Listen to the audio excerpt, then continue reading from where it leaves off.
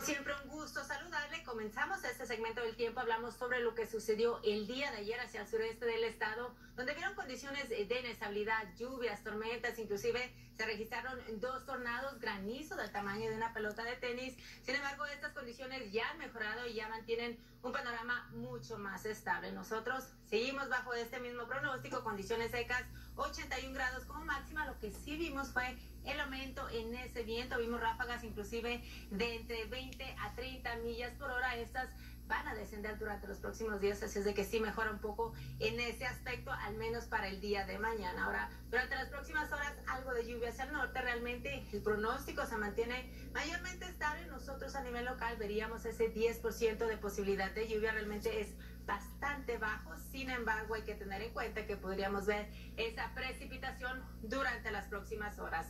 Sectores hacia el oeste, sectores hacia el sur, se mantienen nuevamente bajo ese riesgo de incendios. ¿Por qué? Porque vemos esa baja humedad, esos fuertes vientos y hay que estar atentos o tener en cuenta que eso se va a mantener para el día de mañana y es que todo este viento está llegando delante de un frente frío que nos estará trayendo no solamente condiciones mucho más frescas, sino inclusive estaremos viendo inestabilidad. Ahí lo tiene en pantalla, condiciones inestables a través de nuestro estado, los sectores que se van a ver más afectados son esos sectores hacia el este. Aquí tenemos nuevamente riesgo de tiempo severo. Nosotros podríamos ver algunas lluvias, algunas tormentas y las zonas montañosas inclusive podrían generar eh, algo de acumulación de precipitación de nieve. Así es de que este panorama principalmente estaría llegando a nosotros el domingo. Hay que tener en cuenta que podría extenderse inclusive hasta este lunes. Ahí lo tiene en pantalla mañana.